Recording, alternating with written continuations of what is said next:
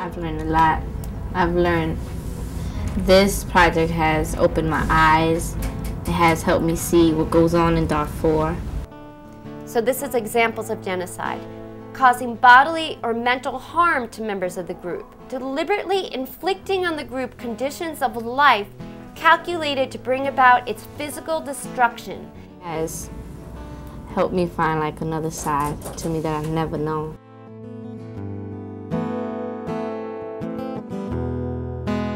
The goal is to connect these students in the US to students in Bosnia, their age, students in Rwanda, their age, and to students hopefully one day in the near future to Darfur. Because it's so important that they understand how much alike they are and how much they have in common. I was nine years old when the war started. One day, uh, came home, went to put my shoes on to go outside and play in the park, and my mom said, uh-uh, take your shoes off, you're not going anywhere today. And she said, There's been some shootings and it's, it's a little dangerous. I just want you to stay indoors. She said, Just for today. Well, little did I know that just for today turned into three years, over three years. And nobody ever thought that that could happen to them. I mean, I didn't. My family didn't. Um, I'm no different than you guys whatsoever. They were trying so hard to make sure I was dead that I did everything in my power to make sure that I lived and that I could be here today to tell you guys about it. I have been very focused in Bosnia and focused on working with students who went through the recent war and went through the recent genocide to bringing them together through this curriculum. And I realized how important it is now for teenagers across the US to understand what's happening in the world around them and to not be isolated and to really provide the tools for students to do their own research so they can they have different access to finding out information of what's going on around them. That's what I love this kind of programs because it gives my students another opportunity to see themselves as people not just as the kid from Harlem or the kid from Brooklyn or just the immigrant kid. Have people. Brainstorm for two, three minutes about civil society and how you fit into it or where you see it in your community. You ready? Go for it.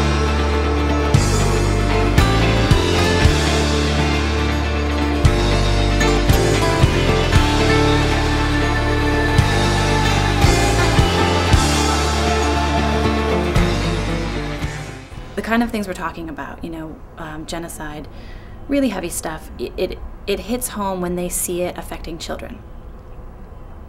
So when we start to do this kind of work and um, and they immediately jump into it, it just it, it feels great. It feels like uh, th that they want to do something about it and they want to learn about it. So the work I'm going to show you today from Bosnia and from Darfur has a lot to do with with kids, and a lot of them um, are your age. A lot of the children that are in these places are either victims or are or become child soldiers. They're given weapons. They're um, they're forced to fight against their will, or often they're fought. They're fighting um, for their own survival and for their family's survival. We tried to run away, but we couldn't. He chased me and he shouted that if he catch me, he killed me. They say kill what you want to kill, loot what you want to loot. You have children now growing up in this very precarious and uncertain situation. You can watch this generation right in front of you losing their way. It is incredibly important for the international community to understand that there's a generation growing up that's been greatly affected by this conflict. So the photography aspect of the Telling History Project is that sort of final nail that brings it home, that the students are able to see their peer groups going through conflict around the world. And by having a visual component gives them something very easily to relate to. I'm writing a letter as if I'm um, one of the people from Darfur to the President of the United States. Dear Bush, my name is Miriam. I am 13 years old. My family and I are originally from Sudan. I was born into a big middle class family, but now I only have my mother and younger brother. The rest of my family has been killed or tortured. I used to go to school with my siblings, but there are no longer any schools nor hospitals. When we talk about World War One and World War Two and the Holocaust, we were not there. We see pictures, and we said, "Oh my God, how terrible!" But these pictures are from 1992, 98, yesterday, and we are alive.